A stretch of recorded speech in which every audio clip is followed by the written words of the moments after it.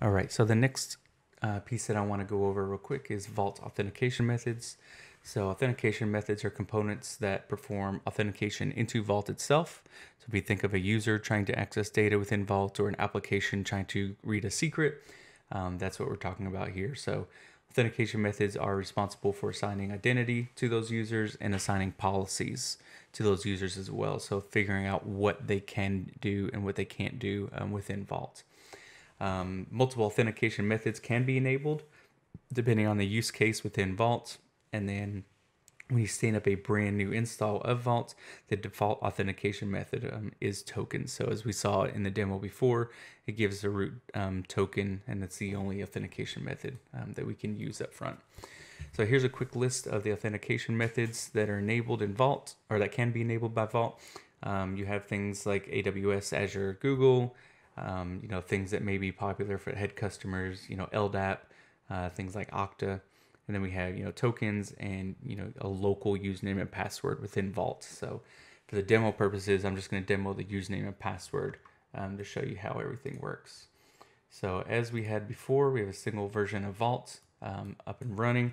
So if you want to look at the authentication methods that are um, enabled, again, I said only tokenization is enabled by default. So what we want to do is enable username and password.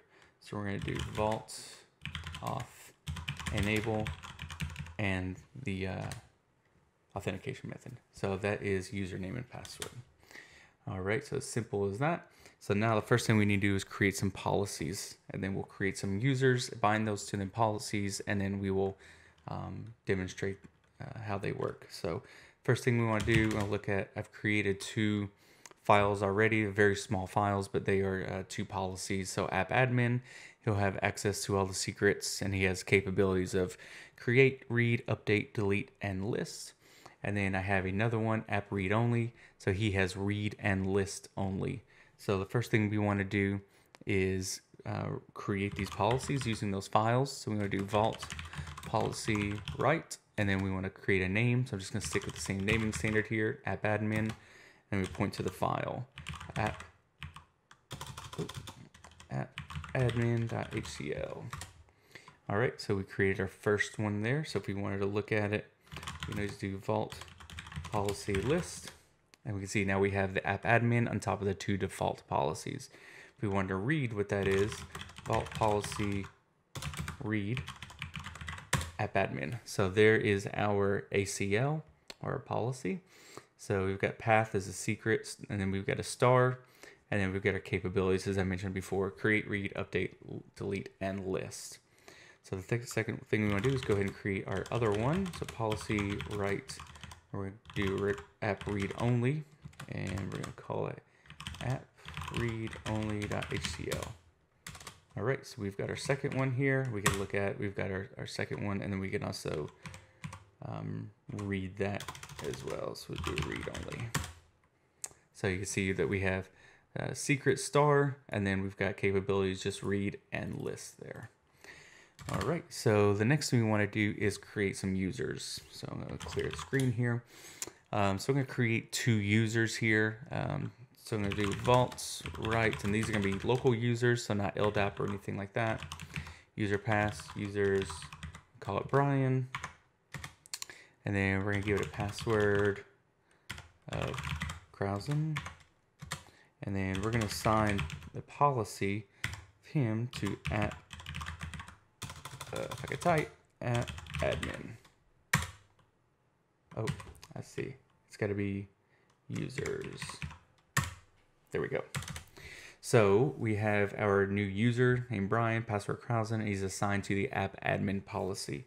For the fun of it, we will create another one. Write off user pass users and just Superman. Whatever. And then we do password equals man of steel. No space. And then we'll do policies and we'll make him at read only. Cool. So now we have two users, Bryan and Superman in here, and they're assigned to the proper policies. So for the fun of it, let's log out. Let's do it in the GUI for the fun of it. username. So let's log in as Superman, Man of Steel. Log in. So as we mentioned before, he has read only and he has list. So we can click through and see see all these. But if we go back and try to create a new secret, so app Super Superman, we'll just create one of his own. Man of Steel, and make it the same password. And we should get an error. So permission denied because we only have read and list. So for the fun of it, we will sign out. Oh. Oh. There we go. And then we'll sign in as myself. If I could type my name. So again, we have all the capabilities before. We can read, read our passwords, etc. But we can go if you want to create another secret. So we call it ahead and rocks and we do save so we have permission to create new secrets so we can see this this new secret here that we just created so um, that's it for the authentication methods um, and then the next one we will go through and look at the secrets engines. Thanks